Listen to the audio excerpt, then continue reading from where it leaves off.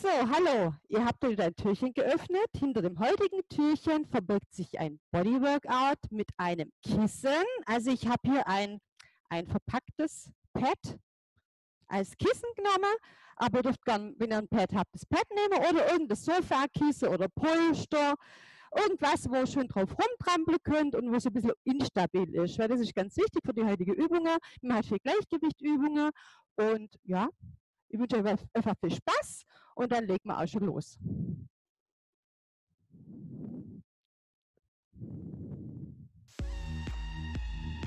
Wir begrüßen erstmal unser Pad oder unser Kissen.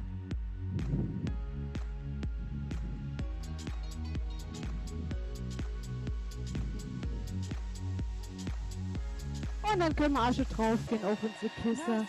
Und spürt mal, wie uneben das ist. Auch gerne ein bisschen hin und her pendeln.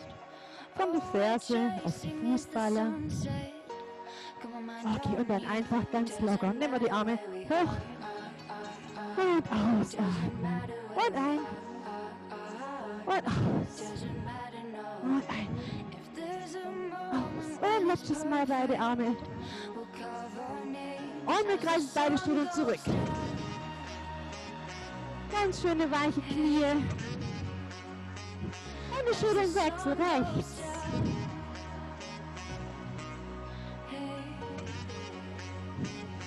Und beide Schultern zurück. Und nochmal. Und noch zwei. Und im Wechsel.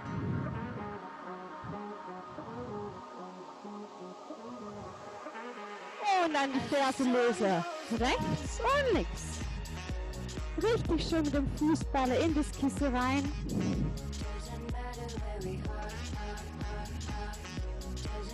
Schön Gewicht auf dem Fußballer. Und dann nehmen wir nochmal die Arme hoch. Und atmen. Und ein. Und aus.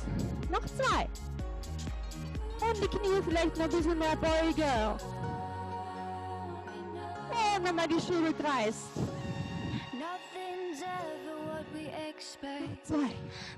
Und im Wechsel. Als ihr seht, ich bin immer das Spiegel. Denkt einfach, ihr schaut in den Spiegel. Und rechte Ferse. Bisschen Tempo. Schön und Bauchnabel nach innen oben ziehen.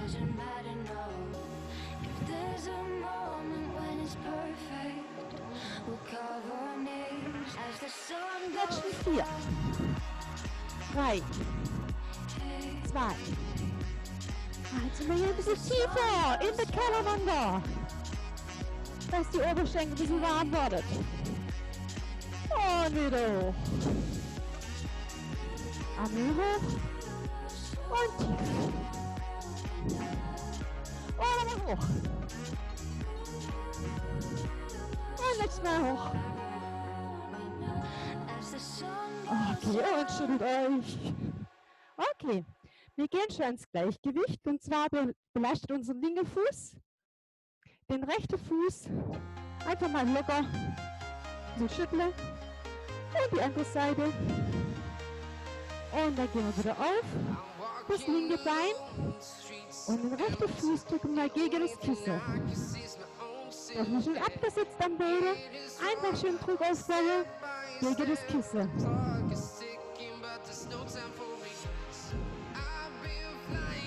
Das Bein. Uh. Wackelig gut. Wackelt noch. Lass nicht umfallen. Und wechsel die Beine. Drücken wir den linken Fuß fest gegen das Bett. Ferse richtig schön dagegen pressen. Spür, wie sich ihr Bauch anspannt. Und lass das Bein fliegen.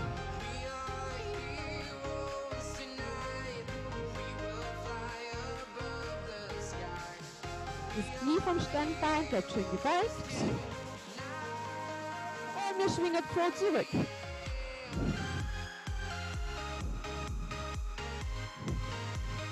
Und der rechte Arm geht vor, links zurück. Ganz locker die Arme. Und das rechte Bein löse. Ordentliches Pad drüber. Aber hier, der Fuß ist in der Luft. Er drückt nur gegen das Pad. Spür die Spannung im Bauch. Standbein ist gebeigt. Und drück und löse. Standbein ist gebeigt. Ihr könnt auch mit den Armen so ein bisschen ausgleichen. Und andere Seite. Linkes Bein, vierstöckiges Pad drüber. Oder Kissen oder Polster oder zusammengelegte Matte oder was ihr finden könntet. Irgendwas Instabiles.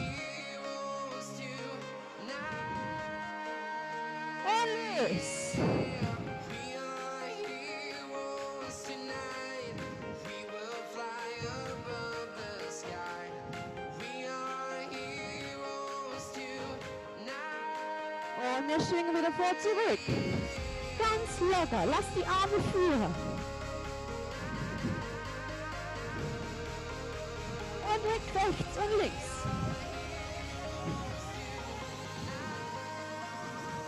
Und rechte Fuß. Jetzt drückt der Spann gegen das Kissen. Fußspitze ist nicht abgesetzt.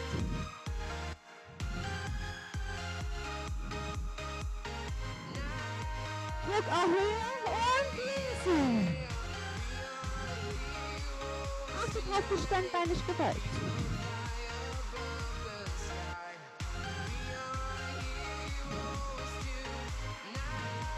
Und Fußwechsel, linker Fuß. I've been flying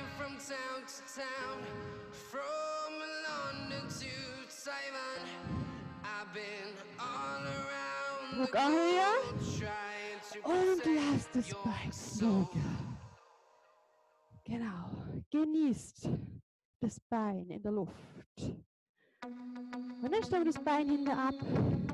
Ich drehe mich mal zu euch, seitlich. Wir haben einen schönen großen Ausfallschritt. Hinten ist die Ferse abgehoben. Vorne ist das Bein gebeugt.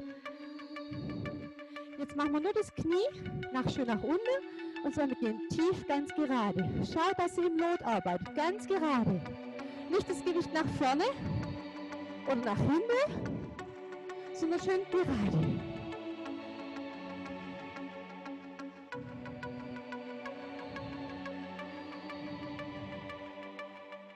Und dann sucht euch eine Position, wo ihr sagt, da kann ich jetzt gut ein bisschen bleiben. Arme gehen nach vorne und der vordere Arm geht zur Seite.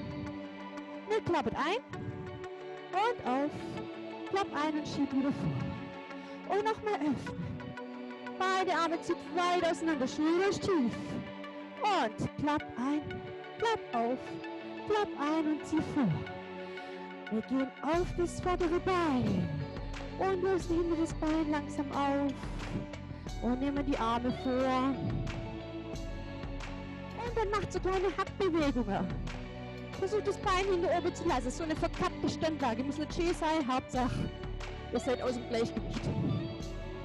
Dann nehmen wir das Knie nach vorne. Knie vor und rück. Vor und rück. Vor und rück. Und vor. Und dann halt das Knie oben. Und kurze Entspannung. Oh, ruht euch kurz aus auf ein Bein. Huh, huh, huh. Nicht umfallen, umfallen. Und Beinwechsel. Wir drehen wir wieder. Erstmal die Position aufbauen. Nimm durch die Ferse oben. Und wir gehen tief und hoch. Und tief. Und hoch. Und tief. Noch viermal. Und ausatmen.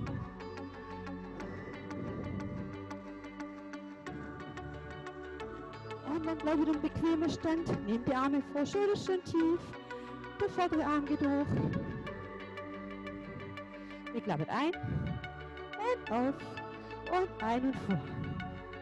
Oder öffnet, zieht die Arme weit auseinander. Und ihr klappert ein, zurück und ein, schiebt vor. Wir gehen wieder auf das Bein. Ja. Versucht hier zu schweben. Und wir machen auch hier wieder die Hackbewegungen. Für die Arme. Wenn es wackelt, ist es ganz egal. Komm schon. Ich auch. Knie hoch und rück und hoch und rück und rück. Und dann halt das Knie oben. Ups, ups. Macht's besser als ich. Und kurz aus. Ruhe auf dem Oberschenkel. Upsala. Ihr seid noch oben. Und wir lösen das Ganze auf. Okay. Ich drehe mich wieder zu euch. Mit den Händen auf die Oberschenkel. Hüftbreite Stand. Wir schieben Po zurück. Und rund hoch. Gerade tief. Po zurückschieben. Und rund hoch. Und mal Po zurück. Rund tief. Nehmt die Hände ans Kissen und baut mal so ein bisschen Druck auf. Drückt mir die Hände gegen das Kissen. Und das Bett, wenn ihr eins habt. Und lösen. Und mal Druck aufbauen. Und lösen. Und wir rollen rund hoch. Schulterkreis zurück. Und wir geht vom Kissen runter. Hände wieder auf die Oberschenkel. Schiebe die Po wieder weit zurück. Fußspitze ist gerade so belastet. Lange Rücken. Und dann mache ich wieder rund. Buckel. Und release. Buckel. Und lösen. Und nochmal bucken. Und lösen. Wir schnappen uns das Pad. Ich tue das jetzt mal ausziehen, das Pad. Dann mit, dem, mit der Verkleidung. Tut mir ein bisschen schwer. Komm rund hoch. Nehmen das Pad mit hoch. Wir gehen wieder in Hüftbreite Stand. Schnappen uns das so ziemlich gemittelt. Und ziehen einfach mal hoch. Und ausatmen.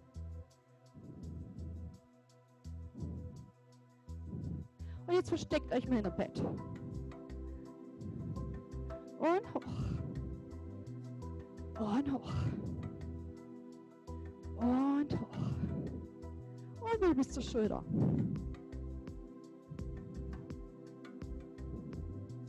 Und dann halten wir das Pad hier. Schau, dass die Schulter schön tief ist. Der rechte Arm geht raus und rein. Raus und links. Raus und rein. Und mal rechts. Schöne lange Arme. Nicht durchgestreckt, aber lang. Lang, wie wenn euch jemand an der Hand zieht. Lang. Ein Schritt mehr, wir gehen raus. Rein, wisch runter und hoch. Nochmal. Raus und rein. Wisch runter und hoch. Raus und rein. Und wisch. Wie wenn das Pad abstauben wolltet oder euer Kissen. Ein bisschen ausklopfen. Ihr könnt es auch ausklopfen. Und nochmal rechts. Und wisch. Nochmal rechts. Und wisch. Letztes Mal links. Und wisch. Und der letzte. Okay, kurz das Pad lösen und kreist mal die Schultern zurück. Lockert euch ein bisschen aus oder schüttelt euch. Nachdem, was euch gerade ist, ihr könnt immer wackeln. Kommt immer gut. Okay, dann wird das Pad zwischen die Beine. Gehen wir wieder ins Gleichgewicht.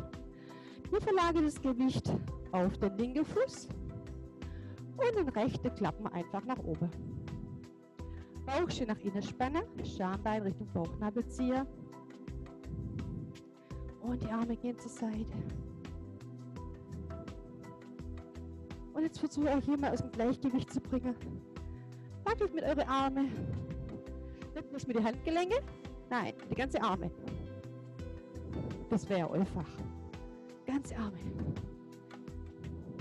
Immer versuche ich aus dem Gleichgewicht zu bringen und dagegen ankämpfen, dass ihr nicht umfällt. Und zur Ruhe kommen.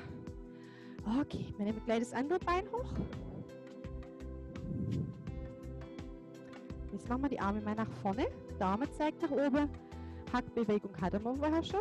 Die machen wir gleich nochmal. Und hacken.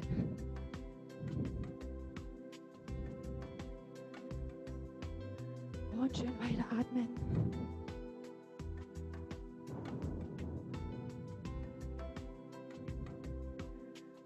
Und langsam lösen. Oh, nehmen wir das Pad kurz raus. Ich schiebe das nochmal nach oben, das Kissen. Macht er nochmal ganz lang. Oh, nehmt wieder tief. Eine Runde machen wir im Gleichgewicht. Okay, wir lösen wieder unser rechtes Bein. Diesmal nehmen wir jetzt den Fuß an das Kissen oder an das Pad. Versucht euch den Fuß dagegen zu drücken. Arme zur Seite. Dann gehen die Arme nach innen und raus. Nach innen und raus. Und rein. Und raus. Und raus. Und haltet kurz. Und löset. Andere Seite. Linker Fuß schön gegen Pad drücken. Jetzt zeigt der Daumen nach oben. Und der Daumen geht zur Schulter, raus, zur Schulter. Schön den Bauch nach oben ziehen. Wenn ein Punkt fixiert, ist noch ein bisschen einfacher.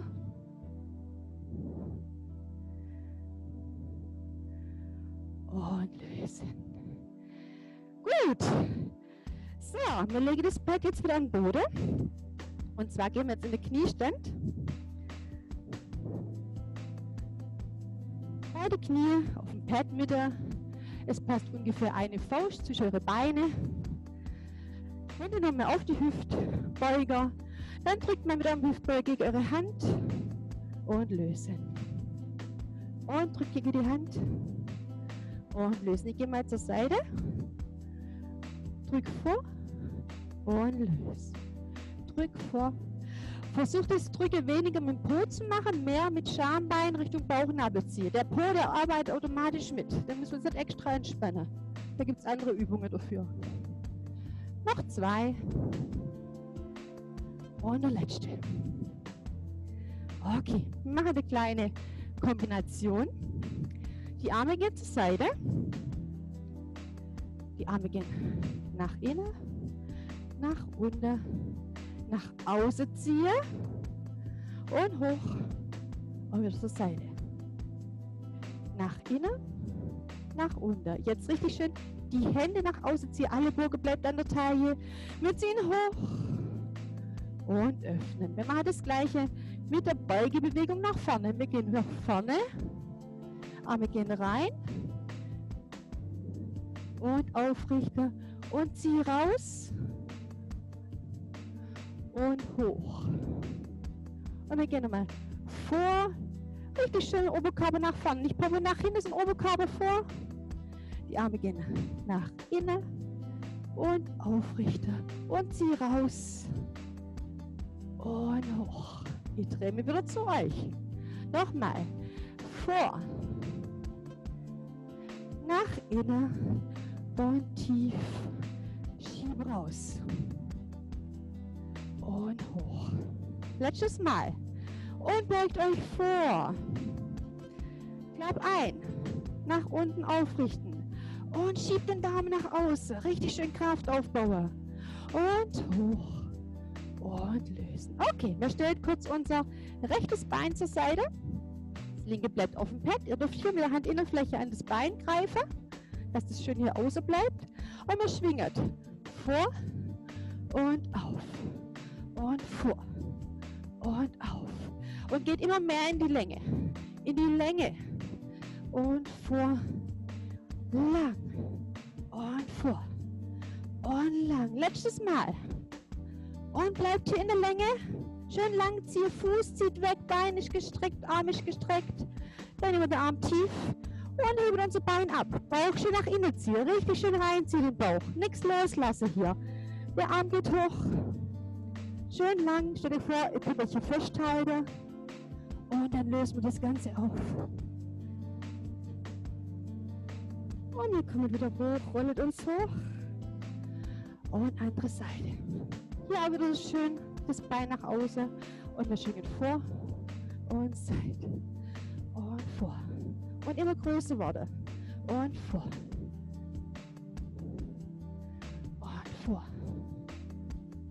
Noch zwei. Und dann haltet hier die, die Dehnung.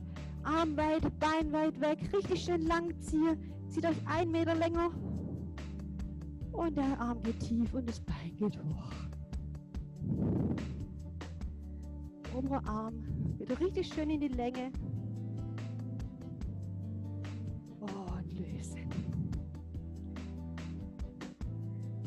Richtet uns wieder auf.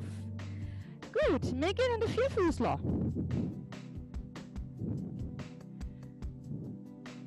Knie lassen wir auf unserem Kissen. Achtet darauf, dass ihr überall einen rechten Winkel habt. Oberschenkel, Oberkörper, hinterer Oberschenkel, Unterschenkel. Handball ist unter der Schulter positioniert, Finger sind breit gefächert, Ellenbogen sind leicht gebeugt, Bauchnabel zieht nach innen. Und dann machen wir erstmal einen runden Rücken. Und lösen. Und mal ganz rund bis zum Doppelkinn. Und lösen. Und nochmal rund. Und lösen. Und dann sucht euch eine bequeme, bequeme, schöne, lange Position. Bauchnabel nach innen gezogen. Ihr habt trotzdem ein leichtes Hohlkreuz. Das ist ganz normal. Wichtig ist die Spannung vom Bauch. Schambein Richtung Bauch und Bauch nach oben. Schulter weg von den Ohren. Wir stellen jetzt unser, ich mache jetzt mal mit euch, nehmt mal eure vorderes Bein, stellt es hinter auf und der Diagonalarm geht nach vorne. Drückt richtig schön den Fußballer in den Boden. Und dann lasst das Bein nach oben fliegen. Zieht euch schön lang. Jetzt geht die Hand zum Oberschenkel. Druck und lösen. Und Druck und lösen. Und Druck und lösen. Und Druck und lösen. Und dann halte den Druck. Richtig schön Druck aufbauen. Nacke bleibt schön lang, Blick ist zum Boden. Und dann löst das Ganze wieder auf. Zieht euch schön lang. Und lösen. Schiebt kurz den Po Richtung Fersen, die Arme ganz weit nach vorne.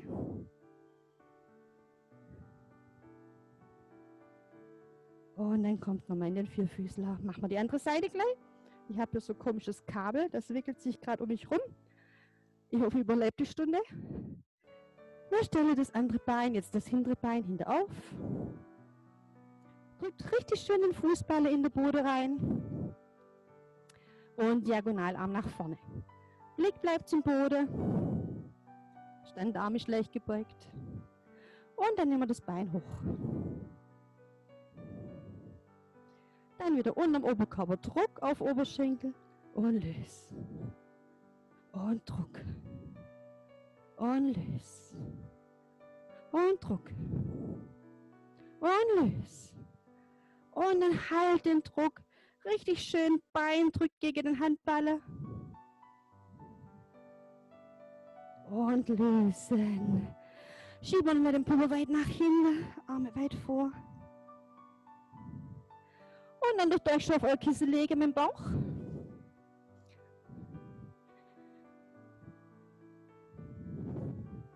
Beine liegen ganz bequem am Boden. Was ganz angenehm ist, wenn der Hüftbeuger am Rand vom Kissen liegt. Die Handrücken nehmen wir aufeinander. Die Stirn dürft ihr auf die Handrücken ablegen. Bauch ziehen wir schön nach innen. Richtung Wirbelsäule. Und dann hebt die Arme ab. Jetzt drückt die Stirn richtig schön gegen die Handrücke. Auch hier wieder so einen Gegendruck aufbauen. Und löst das Ganze wieder. Und nochmal hoch. Nacken ist schön lang. Stirn drückt auf die Hände. Und dann breiten wir die Arme seitlich aus. Achtet auch hier die Schultern weit weg von den Ohren. Schulterblatt spitzt sie nach unten. Arme sind lang. Und dann schieben wir die Ellenbogen Richtung Taille und lang. Richtung Taille Und lang. Richtung Taille. Und lang.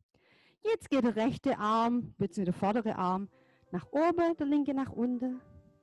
Und Wechsel. Und Wechsel. Und Wechsel. Und letztes Mal Wechsel. Und die Arme wieder zur Seite. Nochmal die Schultern weit wegziehen von den Ohren. Nacken schön lang ziehen. Handrücken wieder einklappen, aufeinander legen. Stirn auflegen. Letztes Mal Druck aufbauen. Und lösen. Ihr dürft euch dann gleich hochdrücken. Nochmal nach hinten schieben.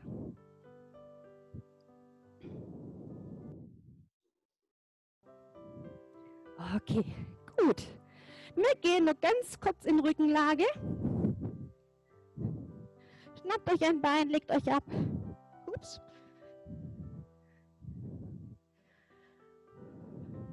Die Arme lasst einfach seitlich liegen. Dann rollen wir das Becken hoch, Wirbel für Wirbel und wieder tief. Und mehr hoch und bleibt hier oben. Nehmt die Arme zurück, Handrücke am Boden und versucht euch jetzt nicht mehr abzurollen. Arme bleiben. Und rollt wieder hoch. Arme gehen wieder vor. Und rollt euch ab. Wir schnappen uns ein Bein, euer Lieblingsbein zuerst. Das andere Bein stellen wir lang weit nach unten. Dann stellen wir das Unterbein wieder auf, überschlage das obere, die Knie fallt auf die eine Seite und der Kopf auf die andere und die Schulter diagonal bleibt am Boden.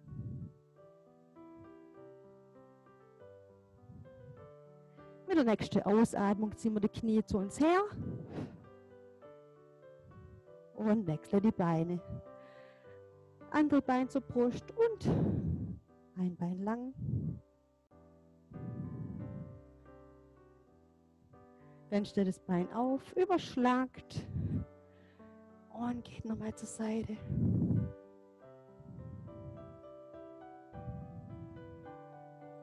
Ja, die nächste Ausatmung. Herzieher. Dann schnappt euch ein Bein, nimmt Schwung und kommt hoch.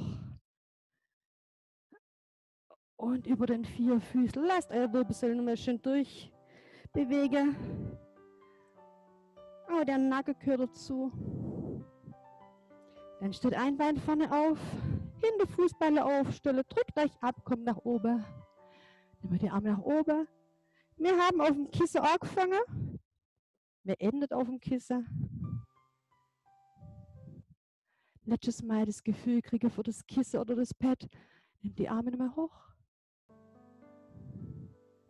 Macht euch rund.